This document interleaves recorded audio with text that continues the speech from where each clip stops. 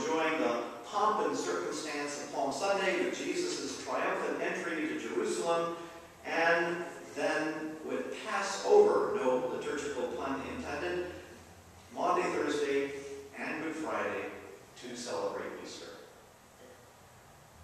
There may be some reason or some reasons for this, but as a practicing Christian, I can't come up with any other than perhaps this.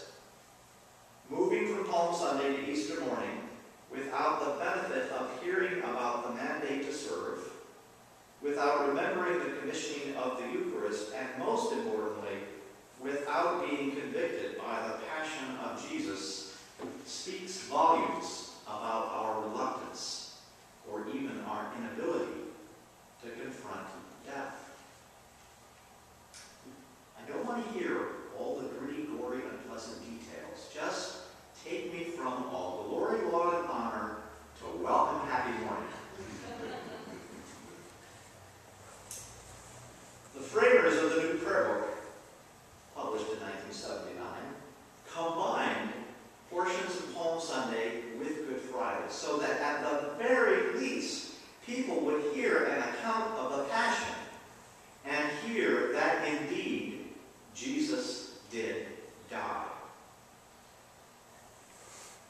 Today, Good Friday is the day to confront death. And in this Good Friday liturgy,